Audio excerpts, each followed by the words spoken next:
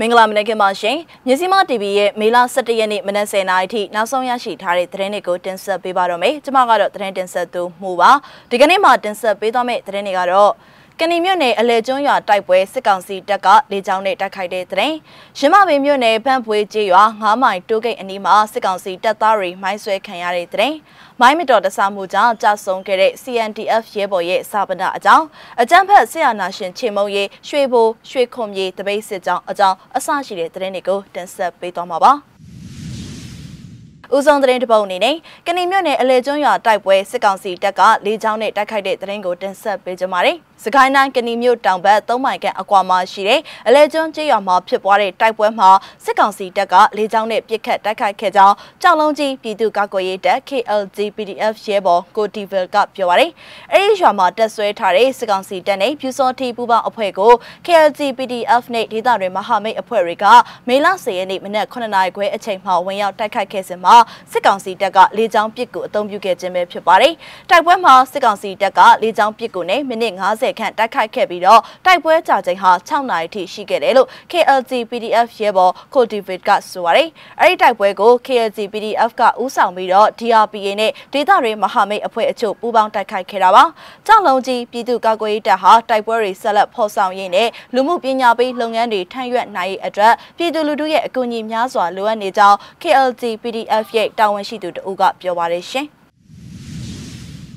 နောက်ထပ်သတင်းတစ်ပုဒ်အနေနဲ့ရင်းမမေမြို့နယ်ပန့်ပွေကျေးရွာ9မိုင်တိုးဂိတ်အနီးစစ်ကောင်စီတပ်သားတွေမိုင်းဆွဲခံရတဲ့အကြောင်းကိုတင်ဆက်ပေးကြပါမယ်။စကိုင်းတိုင်းရင်းမမေမြို့အနောက်မြောက်ဖက်မုံရွာရှာကြီးလမ်းမပေါ်မှာရှိတဲ့9မိုင်တိုးဂိတ်အနီးကင်းလှည့်နေတဲ့စစ်ကောင်စီတပ်သားတွေမေလ10ရက်နေ့မိုးလယ်ပိုင်း2နာရီမှာမိုင်းဆွဲတိုက်ခိုက်ခံခဲ့ရပါတယ်။ပန့်ပွေကျေးရွာကနေထွက်ပြီးကင်းပက်နေတဲ့စစ်သားတွေကိုနှလုံးပူပရိသာမိုင်းနှလုံးကျွေးခဲ့တာပါ။အချိန်ကတော့2နာရီအတိမှာပါစစ်ကောင်စီတပ်သား9ဦးနေရာမှာပဲအသက်ထွက်သွားပါတယ်။ပြီးတော့မှအလုံးရင်းနဲ့အလောင်းလာကောက်နေကြတာတွေ့မြင်လိုက်ရပါတယ်ဆိုပြီးဒေသခံကာကွယ်အဖွဲ့ရဲဘော်ကပြောပါတယ်။ဗန့်ပွေးကျေးရွာမှာစစ်ကောင်စီတပ်သားတွေတက်ဆွဲပြီးတော့မုံရွာရာကြီးလမ်းမပေါ်မှာကုသန်းသွားလာနေတဲ့ပြည်သူပိုင်ကားတွေထံစက်ကြီးအစမတန်တောင်းရန်ကောက်ယူမှုတွေလည်းရှိနေတယ်လို့ဆိုပါတယ်ရှင်။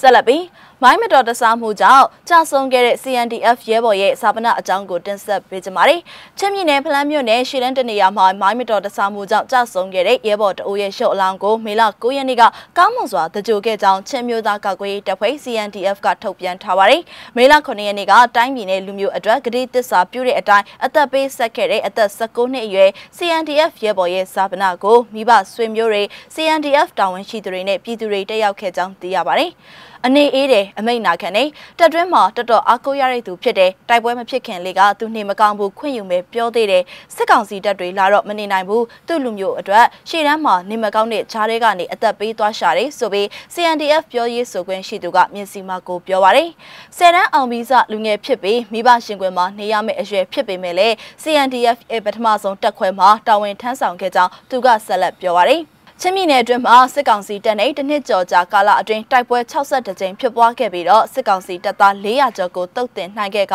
CNDF တပ်ဖွဲ့ဝင်19ဦးတိုင်းပြည်နယ်လူမျိုးအတွက်အသက်ဆုံးလွတ်ခဲ့ရကြောင်းလည်းသိရပါတယ်ရှင်။နောက်ဆုံးသတင်းတစ်ပုဒ်အနေနဲ့အကြံဖတ်ဆီယနာရှင်ချေမုံ၍ရွှေဘိုရွှေခုံမြေတပိတ်စစ်ကြောင်းအကြောင်းကိုတင်ဆက်ပေးကြပါမယ်။ရုပ်သံဖိုင်ကိုဆက်လက်ရှုစားကြပါရှင်။မတရားမှန်ရ။စက်ကြီးညစက်ကြီးညမတရားမှန်ရ။စက်ကြီးညစက်ကြီးညဖတ်စစ်စစ်ကြမြစ်ချမြစ်ချမြစ်ချဖတ်စစ်စစ်ကြမြစ်ချမြစ်ချမြစ်ချလောက်ကောင်ကလာမြစ်ချမြစ်ချမြစ်ချလောက်ကောင်က လာမြစ်ချမြစ်ချမြစ်ချအယမတ်တတ်တွေတိုက်ပွဲတိုင်းမှာနိုင်ပါစေပီရီယတ်တတ်တွေတိုက်ပွဲတိုင်းမှာနိုင်ပါစေပီရီယတ်တတ်တွေတိုက်ပွဲတိုင်းမှာနိုင်ပါစေတောင်းနာတီမှာညီညွတ်ကြညီညွတ်ကြရဲ့ညီညွတ်ကြတောင်းနာတီမှာညီညွတ်ကြညီညွတ်ကြရဲ့ညီညွတ်ကြဘာလို့ချင်းလက်